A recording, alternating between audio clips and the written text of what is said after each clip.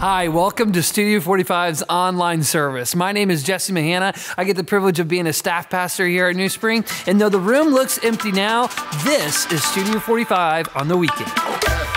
Studio 45 online service is more than a video, but a part of something amazing. You will learn about some awesome big ideas, which are something God wants to do inside you to change the world around you. Our biggest ideas are the big three, and we hope that while you join us online, that you know that you should treat others the way you want to be treated, make the wise choice, and trust God no matter what. So get your favorite snack, crank up that volume, and get ready because we start in three, two, one. The Bible is more than a single book. It's a collection of 66 books of history, stories, letters, and poetry written by dozens of different authors over thousands of years that all come together to tell one big story. It's a bigger story than you can even imagine. It's a big story about a really big God and what he did to rescue us. It shows us who we are and what we were created to do. Discover the story that shows you the character of God. All right, everybody say creation.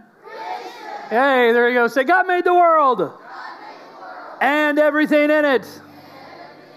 See, you just had to say it and the lights would come on. You didn't know that's the way it worked, but it is. Well, hey, this month we are talking about creation. Uh, we started the month off talking about it. We opened the book of Genesis, the beginning of your Bible. We talked how God breathed life into the in, into the universe. This awesome, awesome uh, subject. Now, here's the thing. I don't know about you, but does anybody in the room love science? Anybody really love science? I'm a science nerd. I, I, I'm, a, I'm not a scientist. I'm a pastor, but I love learning about science. It's so amazing to see how God made the world. Now, here's the thing. I'm really excited to be with you in person this week. It's not digital Jesse. Isn't this great? Yay! Okay. Uh, but here's the thing. I will tell you this. I will tell you this. Uh, when I was here a couple weeks ago digitally, I showed you a picture. I don't know if you remember this picture, but I showed you guys a picture. If you weren't here, you might have missed it. But I showed you this picture, and sometimes people will see this picture and they'll ask the question, who's right?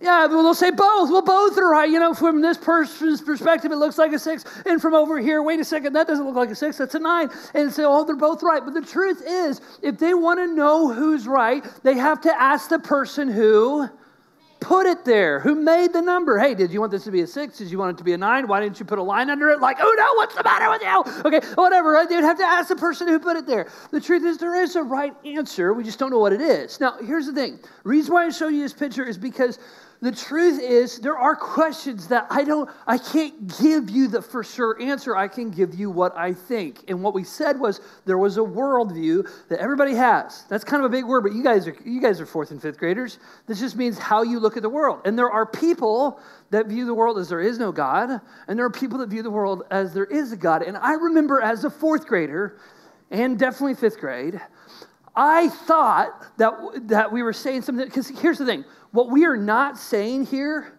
is that it's on one side you have God and then you have science.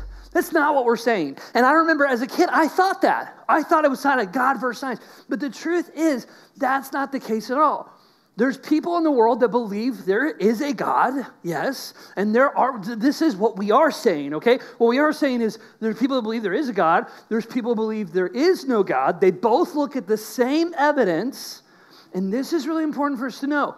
There are people that believe there's a God that use science. There's some really smart science Christians. Did you know Isaac Newton was a Christian? Did you know Galileo was a Christian? A lot of famous scientists were Christians. So both people will try to use science, both people will try to use logic. And here's the other thing, too there are people that believe there is a God, and it's sort of just a blind belief. It's just, well, my mom and dad said there was, so I just believe there is. And they've never looked at the evidence for themselves. There is blind belief on the faith side. And in the Bible, did you know the Bible doesn't ask us to have blind belief? The Bible asks us to have faith in God, but God has proven that He's faithful. So listen, boys, this is important because there's blind belief on this side, but there are people that believe there is no God. And they believe that, for instance, they believe you didn't, you weren't created. You just were the, the result of evolution, cosmic chance. And if you really push them as to why they believe that, it's, it's blind belief. Well, I don't know. It's just what I was taught. It's, guys, I just, the reason why I say that is because honestly, I kind of like to think of God as a scientist. So I'm going to make a, a, sort of a science experiment. You guys want to see a science experiment? Okay. I love science, like I said. So well, let's imagine we were talking about how God created the world, right? So let's imagine God as a scientist because here's the deal. If you've ever, met, if you've ever known someone who's really analytical, if you've ever known someone that really likes to think and process and, and dissect things, right? It's kind of a scientist's mind I believe God made that mind. He put his image in that person. So, yes, there are some ways that God is, is kind of like a scientist. He's methodical enough to think up DNA. Think about it. And on the first day, we learned how God made there was darkness and there was also light. And God said it was, anybody remember what he said? He said it was good. He kind of added both of those things to his little mixture there, okay? Uh, and then on day two, anybody remember what happened on day two? God made the sky and the water, right? Now, you guys, everybody take a big deep breath in. Let it out.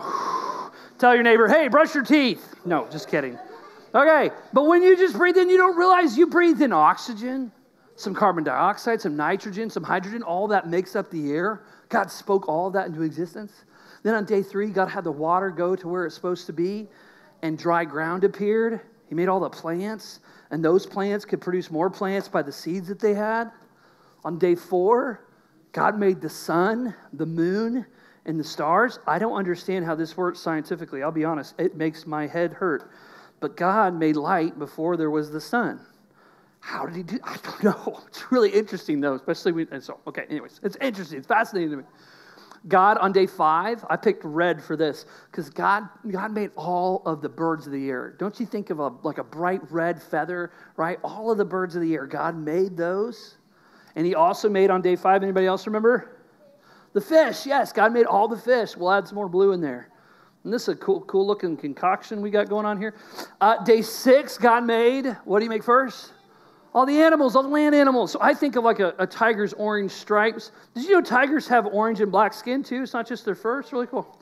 And then we talked about this last week. Miss Debbie talked about how on day six, God made people. He made you. Congratulations. And He made you in his image. And here's does anybody want to know why I picked purple for that? I picked purple for that because purple in the Bible, a lot of times, is the color for royalty. And when you read how God created man and woman, He made Adam and Eve in His image, He created them to take care of the earth, to take care of the animal. How many of you guys like this? Isn't that pretty? Isn't that really pretty? What a beautiful world. Okay, now that's just recap. That's just what we've been talking about. Now we're going to go to Genesis chapter 2. Everybody say Genesis 2. Genesis 2, we read this The Lord God placed the man in the Garden of Eden to watch over it, but he warned him, You may eat freely from any tree in the Garden of Eden, except the tree of the knowledge of good and evil. If you eat its fruit, you are sure to die. Now, God puts, He makes a perfect world. He creates Adam. The only time He says it's not good is when Adam is alone, which is why God created Eve. All right? Okay, God creates Eve. And then He puts in the middle of the garden, He puts a tree and He says, This is the knowledge of good and the knowledge of evil. And He gives people a choice. Right? God didn't want robots to follow Him, He wanted a relationship. My wife was just up here helping with the camera. And can I tell you something? When I asked my wife to marry her, I said, Will you marry me? I did not go up to her and said, Sarah, you will marry me. Okay, that would be, she would run away. That's creepy. Nobody says that. A relationship is a choice. And God gave our, our first parents, Adam and Eve, He gave them a choice.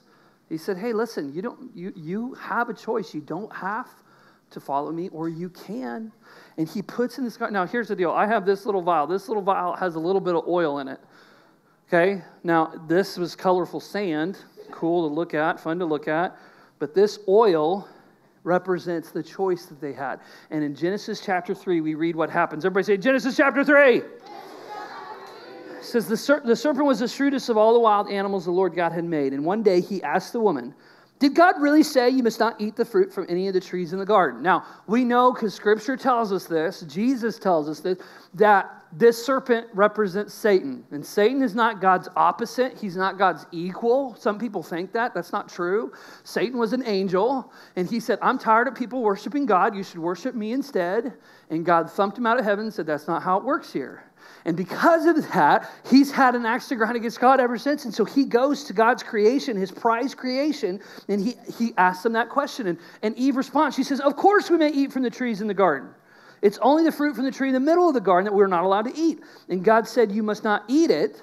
And then she adds to it, or even touch it. If you do, you will die. And watch this. Satan lies to her. He says, You won't die. God knows your eyes will be opened as soon as you eat it and you'll be like God, knowing both good and evil. Now, before this moment, they had only one rule, and that one rule was this this, the tree in the middle of the good, uh, good and evil, it's off limits. And she starts looking at it, and she's convinced. She saw that the tree was beautiful. She saw that its fruit looked delicious, and she wanted the wisdom it would give her, so she took some of the fruit and ate it. Now, all the guys say, Oh! Yeah, guys, help me out. Come on, say, Oh! Come on, Eve. But watch this. Are you ready? You can blame Eve, but listen. Then she gave some to her husband who was with her. Why is Adam not jumping up and down? Eve, don't do it. He's not doing that. In fact, the Bible really kind of sets it up. Eve was deceived, but Adam knew what he was doing. And at that moment, when he eats of it, their eyes are open and they felt shame because they were naked. There was no rules, they didn't have a dress code. And so they sewed fig leaves together to cover themselves up. Bible actually says they were so they were so afraid and ashamed that when the cool evening breezes blew through, the man and the wife heard the Lord God walking in the garden, so they hid from the Lord. And the Lord said, Where are you? The man says, I heard you walking, I was afraid, because I was naked. He said, Who told you you were naked? Have you eaten from the tree whose fruit I commanded you not to eat?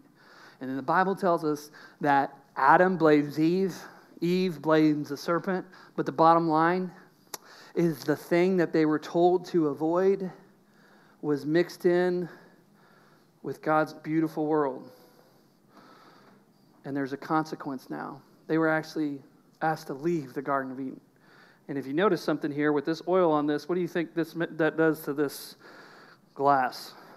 Anybody know? It makes it slippery. Wow, that's amazing. I don't know. It broke every time in practice. There it is. Now, here's the question Is the world broken? It is. It is. Is the beauty that was there still there? Yeah, you can see the orange, you can see the yellow, you can see the blue. But the truth is, if I ask one of you to come up, hey, would anybody like to play in the sand? You might want to play in it uh, for a second, but as soon as you put your hands in it, yes, is it beautiful? Yeah, you'd see the bright colors, but you'd also cut your fingers on the glass. Guys, this is so important for you to understand the world around you. If you don't get this, you'll be confused your whole life. God made the world and everything in it, but God never wanted the world to be broken. Romans 5:12. Do you know what Romans 5:12 says? It says that because of sin, when Adam sinned, sin entered the world. Yes, they had to leave the garden, but more than that, the world was broken. God's perfect world was broken. Here's the thing God made the world and everything in it. But when I tell a kid that, some kids will say, So does that mean God made cancer? No. God made cells to replicate and reproduce, and then brokenness entered the world, and now they don't stop when they should sometimes. You guys understand? It's so important we understand. Yes, is the world broken? But God never meant for it to be broken. And that is a huge problem for us because that means that, yes, God created a beautiful world. Yes, we can still see some of the beauty, but it also looks a lot different than what God originally intended. Did you know the book of Isaiah describes heaven like this? It says the wolf and the lamb will feed together and that the lion will eat hay like a cow. Now, when I was growing up, I always learned that if it has sharp teeth, it eats. Yeah, that's what I learned too. But you guys know a panda has sharp teeth and it eats bamboo. And the way that's explained is oh, well, it used to eat meat and then it evolved to not need meat anymore. Or maybe everything with sharp teeth didn't originally need to kill other things. because we lived in a perfect world, and that perfect world got broken. But here's the good news because it's important that we understand that to have a life that makes sense so we're not confused when we see brokenness in the world. That's the result of sin. But what is the good news? Because it's really discouraging for me to leave this, this story and say, well, sorry, you guys are in a broken world. Here's the good news. Second Corinthians says this Christ didn't have any sin. Now, I want you to imagine I had one little vial of oil. But this verse says God made Christ sin for us. When Jesus came to this world, he lived a perfect life. He laid that life down on a cross, and on Jesus was laid the sin of the world. Your sin, my sin, the sin of your parents, the sin of every single person was put on Jesus. And here's the thing I could take these broken pieces, oh, broke a little bit more. I could take these broken pieces and clean off the oil from them, but what's the problem? It's still what? Broken. And the Bible tells us this even though God's not going to fix the world, we're going to talk about how God has a plan to fix the whole world later. In fact, that's next week, so come back. But in Second Corinthians chapter 5, it tells us this 517, it says, When anybody lives in Christ, the new creation has come. The old brokenness in Jesse and the old brokenness in you can be given to Jesus. And when we do, something amazing happens. God takes that brokenness, and through Jesus, He makes us 100% completely brand new. Now, listen, this is important. Romans says this it says, Adam's sin brought condemnation to everyone because of it because everyone went on to sin. But Christ's one act of righteousness brings a right relationship with God. Remember how I said we, that purple represents royalty? Remember that? Jesus' perfect life, when I put my faith in him as my Savior, gets credited to my account. And no, God hasn't made the whole world better. The world is still broken. But when I put my faith in what Jesus did for me, the fact that he took my sin and paid for it on the cross, he makes me brand new. And because of that, because one person disobeyed God, many became sinners. But listen to this Romans tells us because one person obeyed God, Jesus, many can be made righteous. God never wanted the world to be broken, but it is broken. And because it's broken, He sent us Jesus, and that's something to celebrate. Let me pray for you. Father God, I pray for every kid in this room. We see the brokenness when we look around. We see people angry with each other. We see people cruel to each other. We see pain and sickness, but we know that those things were not made by you, they're brokenness brought by sin. Help us to put our faith in what Jesus did for us on the cross. So, like Second Corinthians tells us, we can be made new. You can fix the brokenness in us so that we can be a light in a broken world. All God's children said, Hey, thanks for letting me be here this weekend, guys.